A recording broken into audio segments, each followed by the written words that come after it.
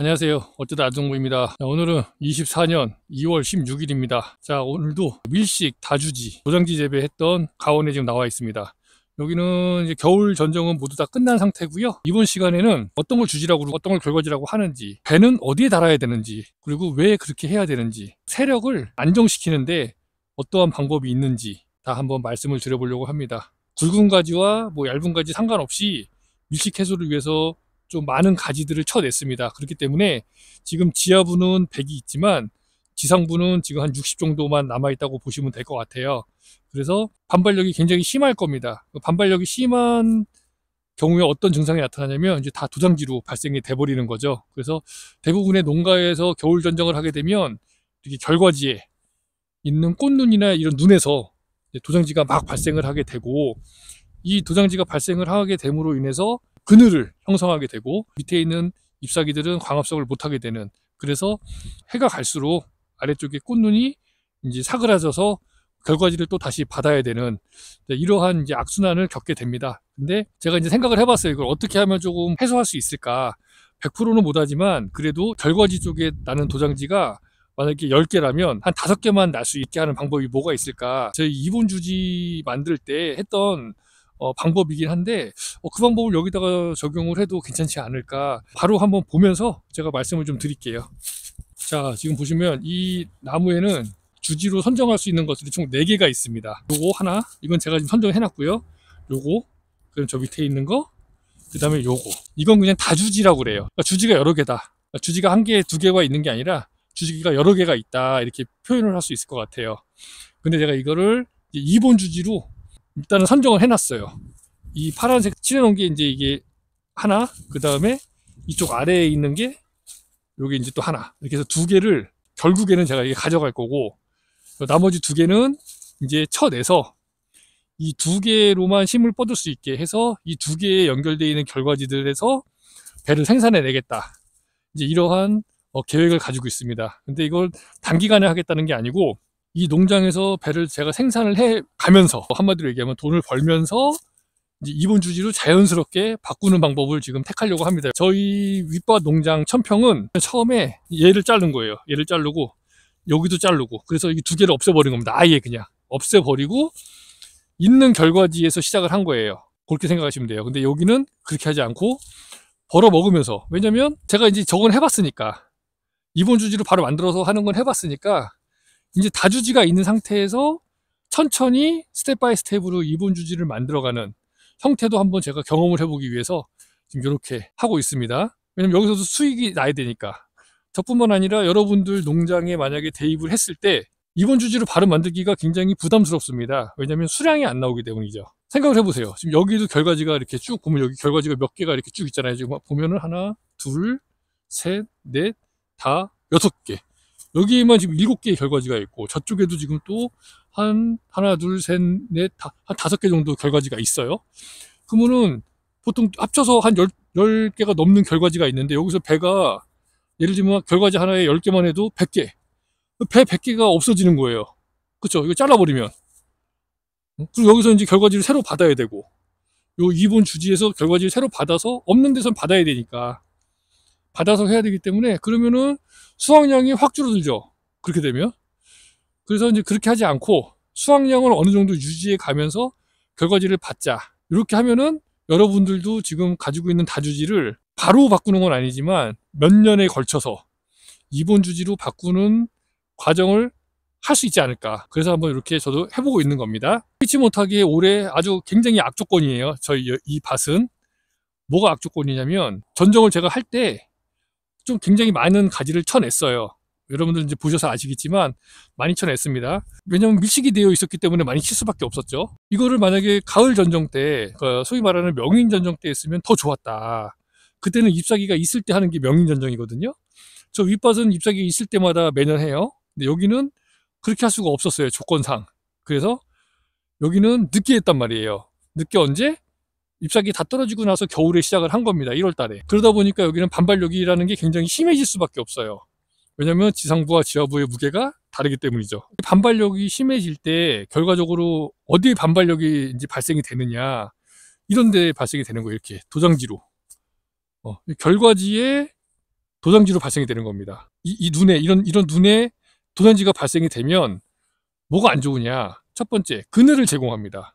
그죠? 아래쪽에서 잎사귀가 발생이 될 텐데 위에 도장지 난 게 다 가려서 광합성을 밑에서는 못하게 만들어 버리는 거죠. 그리고 기존에 있는 꽃눈을 없애버리는 거예요. 그죠? 눈이 꽃눈이 될 게 도장지가 돼버리니까 어떻게 되겠어요? 그럼 갈수록 도장지가 사라질 거 아닙니까? 계속 그렇게 전정을 하게 되면 결과지를 계속 받아야 되는 그런 악순환이 계속 진행이 된다. 그래서 진짜 제가 생각한 게 뭐냐? 일단 이거부터 말씀을 드릴게요. 다 주지에서 이 주지라는 곳에는 열매를 달면 안 돼요. 이게 첫 번째고요. 그리고 두 번째는 열매를 달지 않기 위해서 다 전정을 해주는 겁니다. 이런 식으로 제가 여기는 다 전정해놨어요. 이렇게 기존에 있던 전- 거를 다 전정해놨습니다. 여기도 보시면 쭉 다. 그러니까 이런 건 지금 전정 아직 안 했죠. 이건 이제 하면 돼요. 전정해주는 거예요. 이렇게 해줍니다. 전정을. 그럼 이걸 전정을 왜 해주느냐? 여기에는 안 달겠다는 겁니다. 배를. 이 나무에는. 이게 왜 뭔데? 이거는 주지예요. 주지. 다 주지에서 주지입니다. 쭉 보시면 이게 주지. 요거죠. 요, 나, 요 나무잖아요. 요 나무. 이건 결과지가 아니에요. 결과지와 주지와 차이가 뭐냐? 결과지는 더 이상 뻗지 않는 것, 과지가. 어, 요건 이게 결과지죠. 이거 하나잖아요. 이거 하나가 이제 결과지가 되는 겁니다. 이게 결과지. 여기다가는 배를 달아야 돼요. 이런 데다가는 배를 달아주는 겁니다. 이런 데다가는 충분히 배를 달아주고 이 다 주지 여기 다 주지잖아요. 다 주지. 다 주지에다가는 배를 달아주지 않는다. 그래서 안 달게 하기 위해서는 나만 알고 있으면 안 돼. 그죠?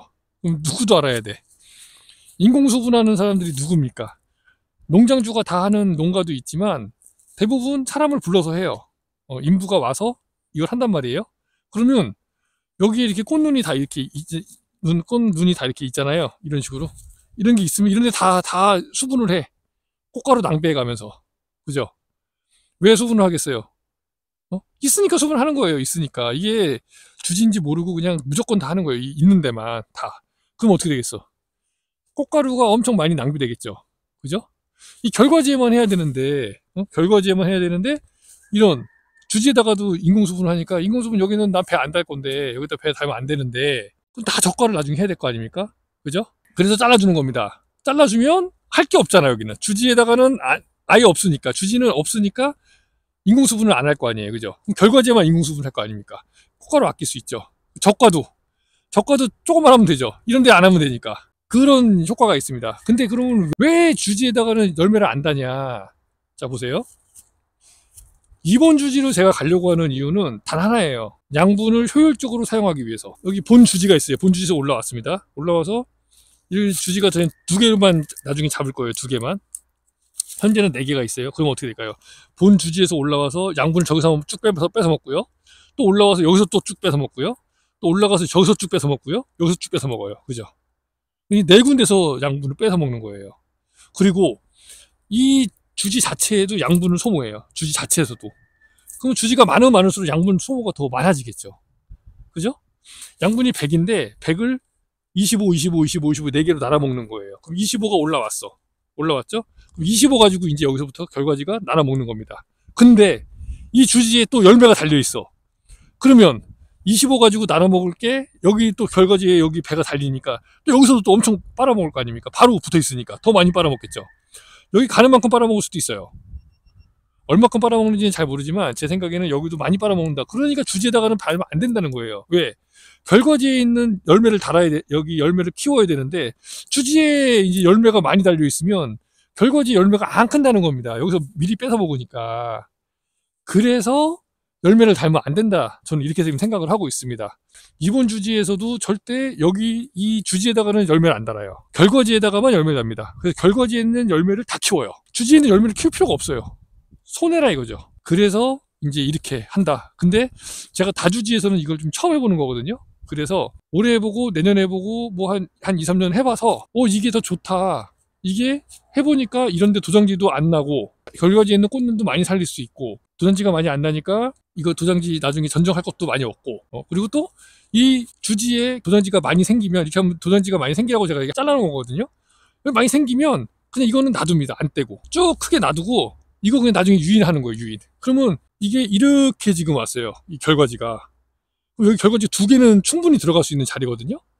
이 결과지 하나밖에 없어. 하나 가지고 두개 자리를 차지하고 있는 거예요. 그럼 어떻게 되겠어?